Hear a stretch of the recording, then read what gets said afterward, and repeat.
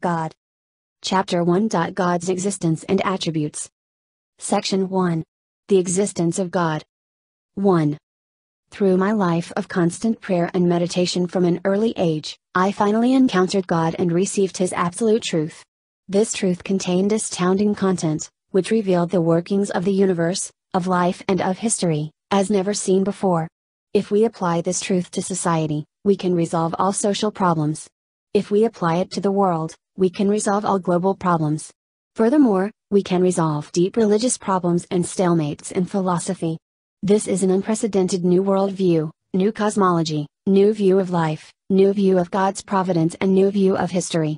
Divine Principle is an integrated thought system that embraces all religious doctrines and philosophical tenets as one whole, while preserving the unique characteristics of each. 2.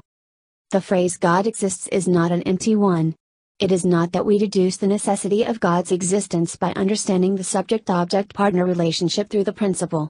It is that God existed before we came into existence, that He existed before we could think, and that He leads our senses and our whole beings. This awareness is more important than anything else. The basic point is that awareness precedes knowledge, not the other way around. If we are cold, we feel cold before we know we are cold. Likewise, since God exists, we should be able to feel His existence in our very cells. Achieving that awareness is what matters. The issue is how we achieve that awareness, the ability to experience these things. 3. The most serious issue in human life is to know whether or not God exists. If God really exists, the greatest of sinners is the one who denies his existence. For example, if a son denies his parents' existence when they are truly alive and well, would we call him a filial son or an unfilial son? We would call him an unfilial son. Then, what will happen to the person who denies God's existence, even though God exists? That person will come to ruin.